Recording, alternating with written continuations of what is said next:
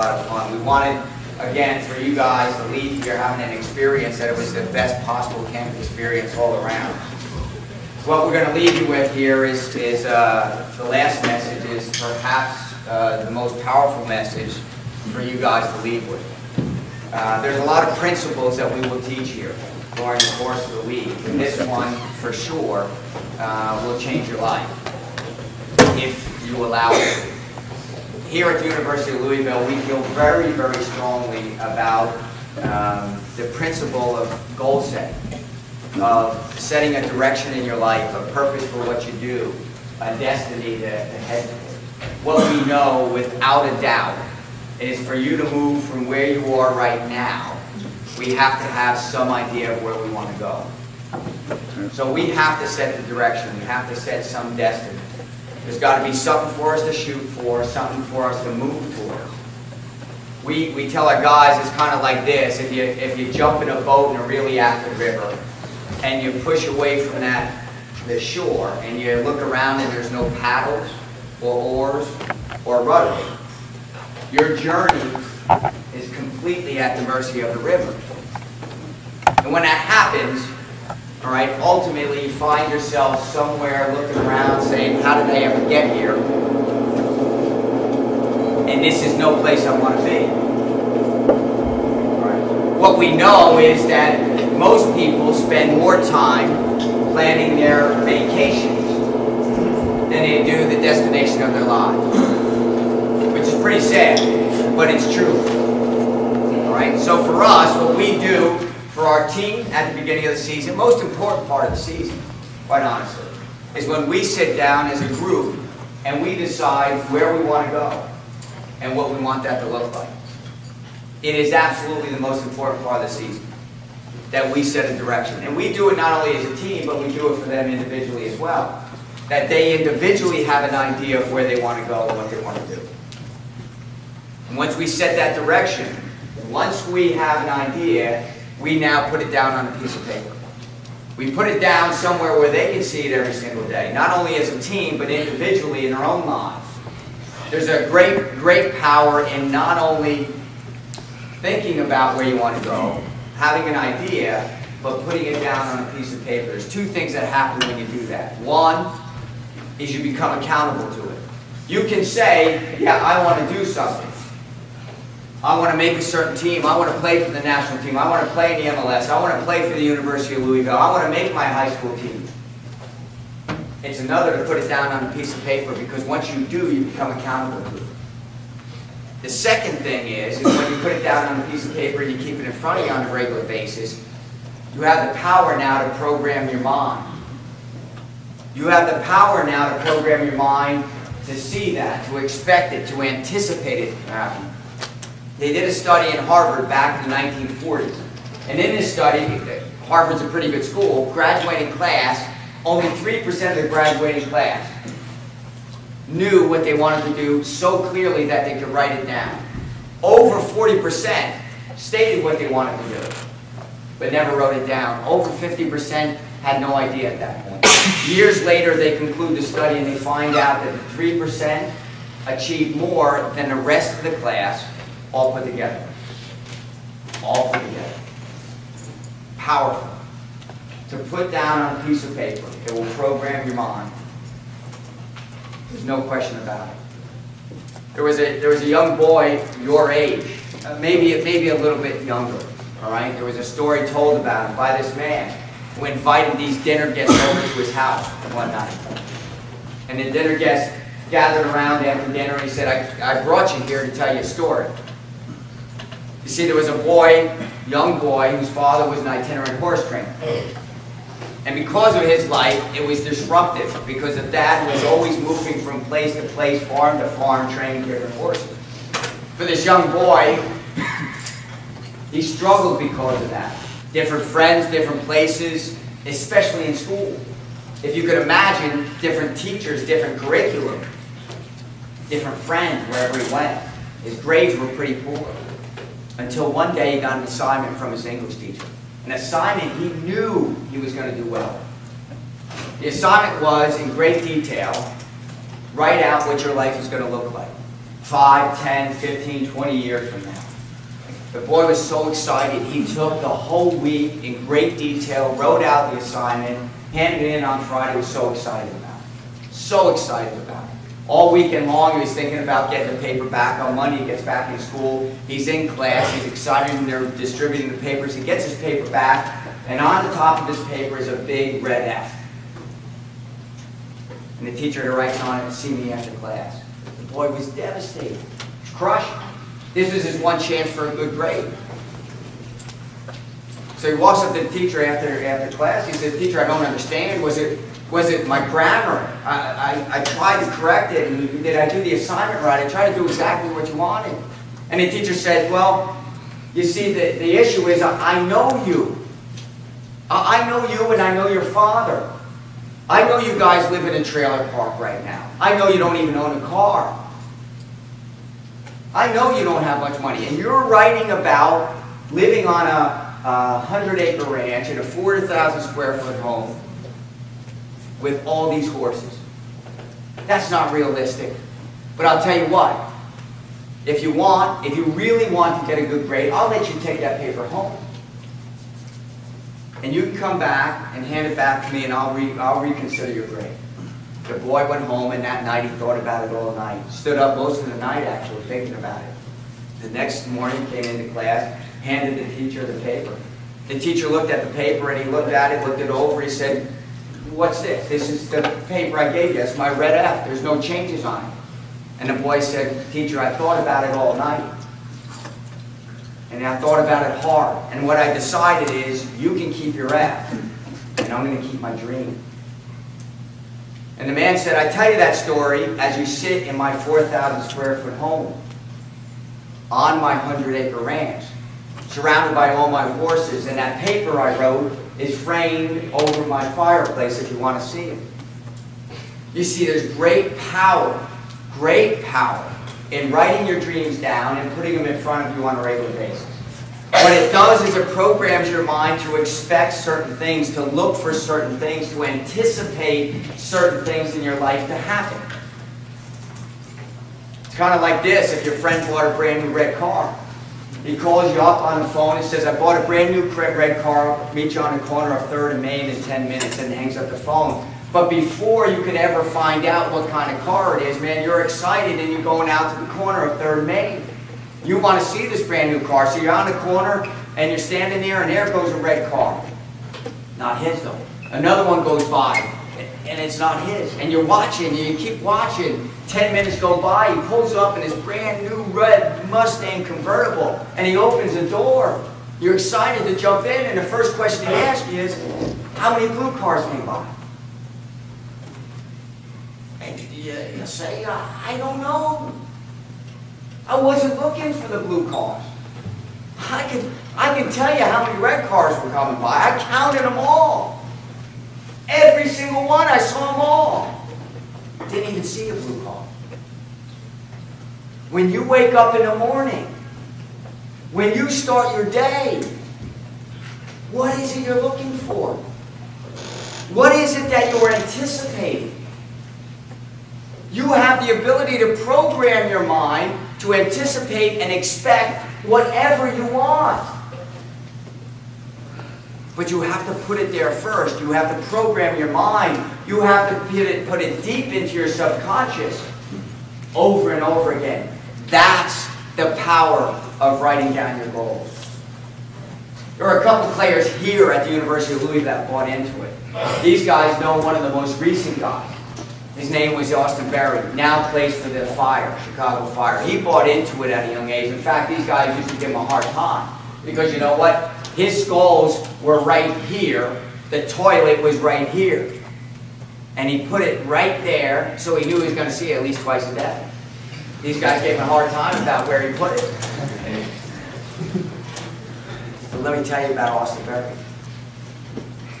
He was the first round draft pick in the MLS scored a goal in the Final Four College Cup, the NCAA tournament. He had those things written down. In fact, I go up to see Austin. He's drafted, he's up there, he's in preseason camp in Chicago. Part of my responsibility for these guys is to actually stretch their dreams, is to help them see themselves bigger than they are. So I'm going up to see Austin, and you know what I'm doing? I'm thinking, I gotta stretch his dreams a little bit. So I'm having lunch with him, I'm saying, Austin, how's it going? What's going on? You, did you settle yet? Did you find a place? And we have some talk, and we talk about how he's doing. And then I finally get to him, and I say, Austin, you know what? You gotta start thinking about playing for our national team. You gotta start thinking about being a guy. We need a guy like you to be a center back for our national team. And he pulls out his phone. And he says, Ken, I got it right here. Had it written down already. Had it written down already. I know he's going to play for our national team. I, I know it's going to happen. And it's not just because he has it written down. He's seeing it all the time. He's focused on it. He's driven. One of the best players, one of the best rookies in the league right now. He's going to play for our national team and another player, Aaron, Aaron Clapham. Aaron Clapham was a guy that came from St. Francis, played there for two years, came here simply because his coach from St. Francis became our assistant coach. He was from New Zealand, never played on a youth national team there. Never played on a youth. He was close a couple times, but never played on a youth national team. Comes here, and he in two years ends up being a ball youth player. Gets to the MLS Combine, nobody drafts him. Nobody drafts him. MLS. He's expecting to play pro. In fact, you know what he wrote down? He wrote down on his goal list that in two years he was going to represent New Zealand in South Africa in the World Cup. And nobody drafted him in the MLS. So he goes home, he knows what his, his goals are. So he goes home and he's looking for a place to play. He's looking for somewhere to play, so he ends up having to go to to, to Australia to find a team. He finds a team, plays there for a few years, or for a year, and comes back to New Zealand, the only place that would have him. He gets on a team in New Zealand, highest level, playing for the coach who's coaching their national team. He does so well there, so well for that club team, the coach gives him an opportunity, brings him into a national team game. He does fairly well, but he's still not close enough to make the team. Two guys get hurt in the last month. Guess who went to South Africa with New Zealand? Aaron Clapham did. Sent me a jersey, signed it, and said, Ken, thanks for all your help in game. The power of writing it down. There are a lot of people that look at him when he put down he's going to play for the national team in South Africa, represent him in a World Cup. He did it. He did it. I'm telling you, it happens in my life all the time, and I see it happen in so many other people's lives. So what we're going to do now is this. Is we're going to give you, you got that? We're going to give you an opportunity now to start the process. What's going to happen is the, the staff is going to distribute two things, a card and a pen. What I want you to do is just grab it and hold it right now, and I'll explain what we're going to go through. You're going to have an opportunity, listen, you're going to have an opportunity on the card to write down, listen to me, write down five things. Five things. There's two sides of the card. The first side you want is things I must achieve in my life. Things I will achieve. Five things. Now listen, great detail is better. I want to get good grades? No. I want a 3.5 GPA. I want to play in high school? No. I want to start in high school. I want to travel? No. I want to go to South Africa, New Zealand, Australia.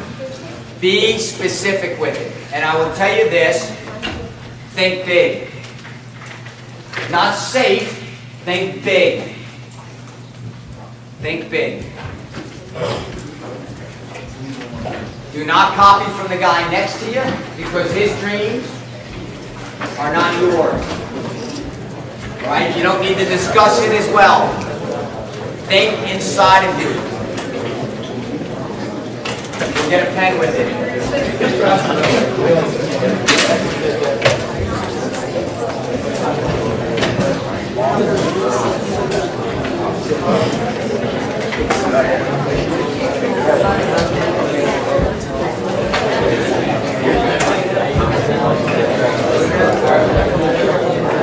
Five, listen, five things, five things that I must, five things I must achieve, five things.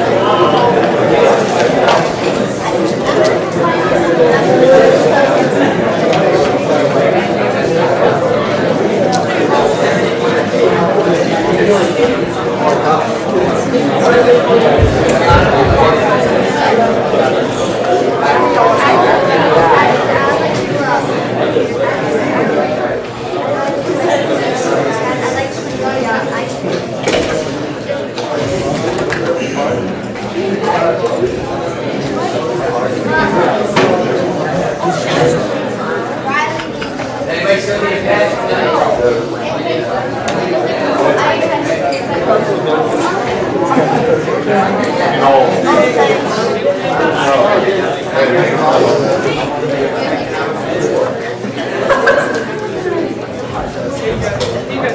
guys, this should not have to be a discussion of what are you putting down, what should I put down. This is something within inside you. Whether it's academic, athletic, social, whether it's financial.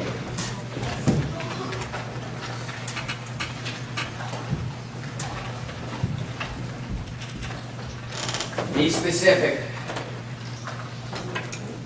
If you're struggling with this, if you're struggling with this, what it means is that this exercise needs to happen more. For Tina and I in our lives, we do this on a regular basis. Because there's sometimes we check some of them off and we got to reset. Things happen in our life. We write a book, check it off, we're going to do another one.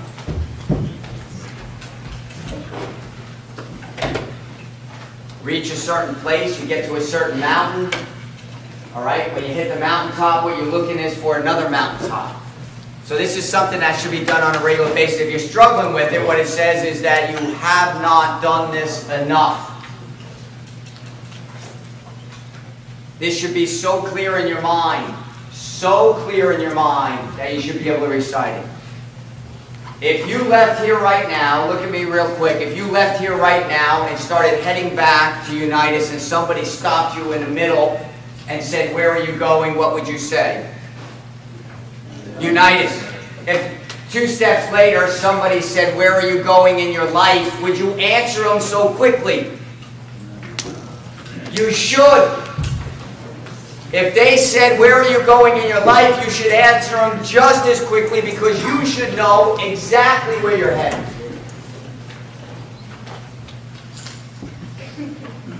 There shouldn't be a doubt, a stutter, a moment. It should roll off your tongue because you see it every day. You know exactly where you're going and what your purpose is. Otherwise, you're in the boat without any rudder or, or path. If you have a choice to program your mind, why not program it to where you want to go? Why not decide the direction?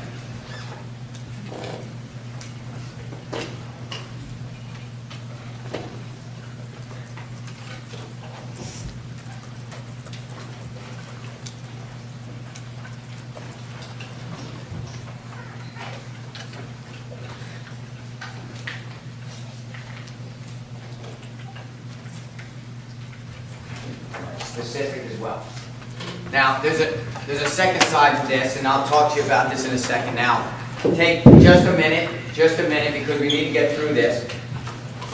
Before we get to the other side, how many, if you wrote, wrote down one or five, how many believe that when you leave here, when you go out those doors or you finish camp, how many believe that you could do something that would prevent you, or at least make it more difficult for you to reach these goals? You could do something that could probably make it hard to reach those. How many think that could, purposely or not purposely, how many think so?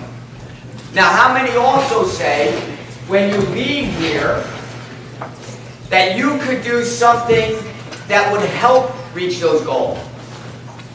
Okay, so what you're saying is this, and listen to me clo very closely here. If you've answered yes to both of those, what you're saying is this, is that you, you have the power. You have the power. You didn't answer it and say, Coach, you have the power, or my parents have the power, or my teachers have the power, or my friend. You said, I have the power. I decide when I leave here, it is my decision that if, if I get there, it's because of what I've done. If I don't get there, it's because of what I've done. That's wonderful. It is empowering. It's liberating to know that the power lies within you. How wonderful is that? Scary for some, but empowering for sure. So now you flip the card over, and now you get to write down five actions, five things that you will do that will help you. Now listen, again, very specific because look, I want to make the national team. Well, I'm gonna, I'm gonna, I'm gonna play more. No, that's not good enough. I'm gonna spend 30 minutes with the ball three times a week. Every day. Put down what you want. It's your dream. It's your dream. I want a 3.5 GPA. Well, look, I'm going to study an extra 30 minutes a day. It's your dream. You decide. I want to travel the world. Well, you've got to figure out how you're going to create the money to do it. I want to be a millionaire by the time. Well, what are you going to do? Who are you going to associate with? What books are you going to read? What actions are you going to take? The power lies within you.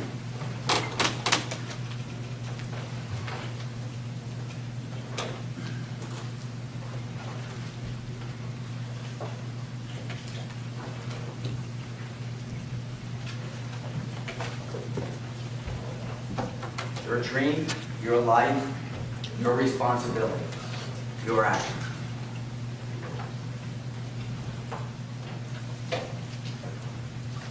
Be specific. What are you willing to do?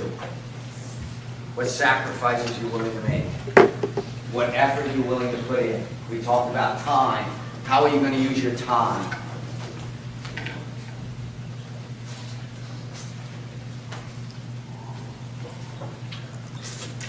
This card is going to be a tool. This card is going to be a tool that you'll be able to use. Now listen, this card is only as powerful as this. And if you're right, right. If not, have your eyes up here. Your card is only as powerful as this. If you use it, it's got a ton of power. If you take this thing and you throw it in the trash or in some drawer somewhere and never see it again, it's got no power. No benefit. Write it down once, it helps, but I gotta tell you, it really loses its significance. You need to put this somewhere where you're to see it at least twice a day. Here are the times where it's really good to see it. When you wake up in the morning, because when you see it first thing and you read your goals, it will set your day. When you start making your decisions during the day, your decisions should line up with where you want to go. If your decisions don't line up with where you want to go, those aren't your goals. Those aren't your goals. Or you're not willing to make the sacrifices to do it. It may not mean enough. The second time is right before you go to bed. Why? Because what we know is your mind still works while you're sleeping. It doesn't rest. What does your subconscious mind do? It marinates on whatever you heard, read, or saw last. So if you have a choice, and you know that to be true, Why not have it marinate on things like your goals of where you want to go and what you want to do? Why not? Rather than maybe a scary movie, the news, or some really bad music. Why not? Why not being something like your goals? And look, if I told you this, that for just a second you're thinking this might be true, just for a second, what coach is saying might have a possibility of working. Why not try? Why not put it up somewhere on your dashboard of your car or on your headboard or in your bathroom or look where you're sitting on a toilet and you see it twice a day? Why not? I'll tell you what happens is every year, right around the end of the fall, beginning of the new year, I get emails from campers. And I store those emails because what they do is they tell me, they say, Coach, it's unbelievable that I did that. I took the card, I put it someplace, and here's what I accomplished. This is what I did. Every year it happens because you know what? There's usually only about 5% of you that will go home and do it. 5% is usually normal. Those are the guys I get those emails from. Those are the guys that have the success stories. Your choice. You want to be one of the 5%, it's up to you. We have the information, you are empowered now. The question is, what will you do with it?